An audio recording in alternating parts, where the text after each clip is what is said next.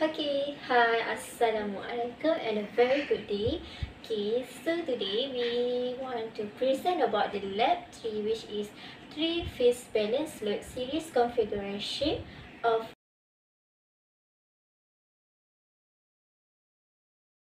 Okay, first is demonstrate the profile of variable series connection of RL, RC and RLC in an AC and a three-phase power system. Okay. Second is investigate and compare the characteristic of RL series connection, RC series connection, and the lastly is RLC series connection under the three-phase balance load system with the star configuration. Okay, the equipment or component that we use in this lab or in this experiment, we use resistive fluid, capacitive fluid, inductive fluid, power switch module, controllable three-phase power supply 0 to 400 volt, 2 ampere or 72 per unit, and then lastly is the power quality meter with display and a long-term memory.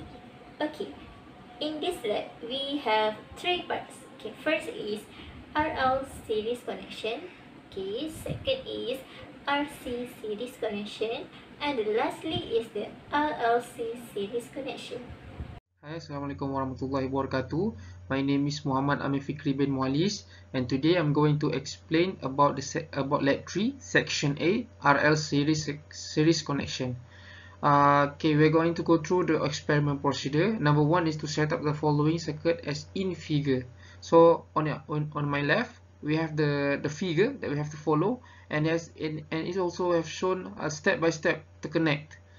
Okay the second is to connect the resistive load 750 ohms in series to the inductive load in star configuration and set the following inductance level 1.2 henry 2 henry and 3.2 henry in succession one after the other and, and the third is switch on the variable transformer and set a phase voltage of 230 volt.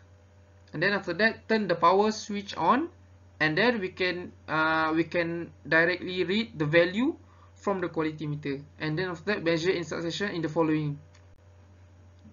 So here is the result of the RL series connection. So here the, the connection we can get from the digital and this uh, and the xl down here we must calculate it. And here is the uh, and here is the formula of the calculation. This is the formula of the calculation.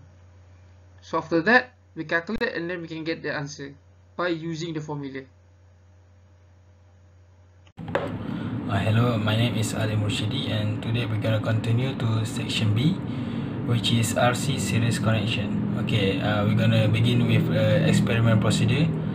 First is set set up the following circuit as in figure 2 and the second is connect the resistive load with a resistance of 750 ohm in series with the capacitive load in star configuration and set the capacitance to 2 microfarad 4 microfarad and 8 microfarad one after the another and the third is switch the variable three phase power supply on the set the power supply and set the phase voltage to 230 volt. And then turn the power switch CO3301 uh, 5P on. And then uh, you can read all the value directly from the power quality meter. Um, and then lastly is measure the following variable and compute the circuit reactance XC okay so this is the result for series connection. So as you can see um, uh, the value of uh, current is uh, for 2 2 microfarad is 0.13 and for 4 microfarad is 0.21 and for 8 microfarad is 0.27 and the value of power for 2 microfarad is 13 watt. For 4 microfarad uh, 30 30 watt. And for 8 microfarad is 55 watt. Okay um so based on the result that have been given um we need to calculation we need to calculate the uh, value of reactance so they give the reactance uh, formula uh, which is xc equal to qc divided by i square. Okay so this is the result that we get. Uh, for 2 microfarad we got uh, 1597.63 ohm for 4 microfarad is 816.32 ohm. And for 8 microfarad we got 411.52 mic 52 ohm. Okay so uh, based on this result we can conclude that um, when the current when the value of current increase the value of power also increase but the reactance value xc will decrease. Okay. Hi my name is Muhammad Salahuddin uh, and I am going to present uh, section C which is RLC series circuit.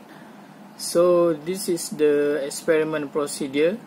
Uh, first of all we set up the following circuit as in figure 3 after that uh, connect the resistive load uh, which is 750 ohm in series with the capacitive load uh, with uh, 4 microfarad.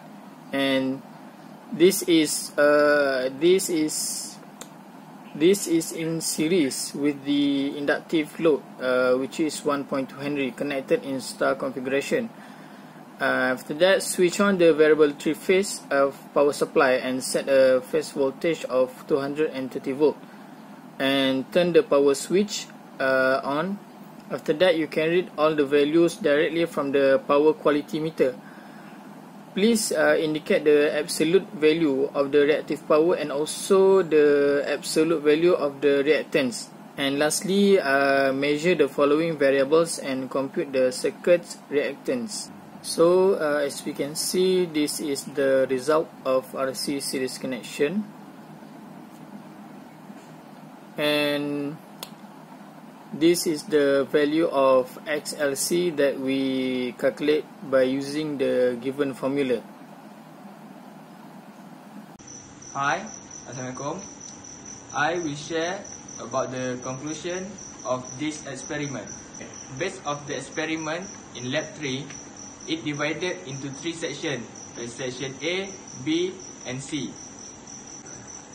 In section A, it is a RL series connection we can conclude that the value of inductance in the circuit will affect the value of power output and the reactance where the value of the resistor is maintained. So the reactance is being calculated using a formula SL equal to QL over I square. So if the amount of the value of inductance in the circuit is increased, the value of the reactant will increase too. In section B, it is a RC series connection where the value of the resistor is maintained but only the capacitance is changed. We can conclude that the capacitance will affect the power output and the reactance of this circuit. The reactance will calculate using a formula XC equal to QC over I square. The more the value of the capacitance is added to the circuit, the reactance will decrease because the current is increased.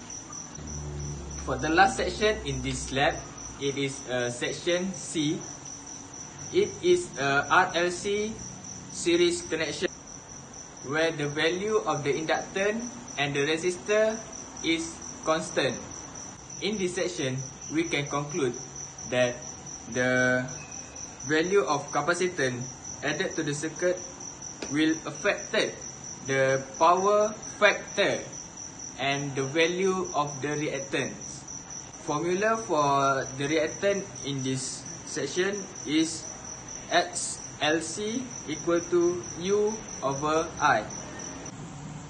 If the value of the capacitance in this circuit is equal to 8, the power factor is going to be ideal. If value of the capacitance is higher or lower than 8 in the circuit, the power factor is going decrease and the reactant will going increase. That's all from me.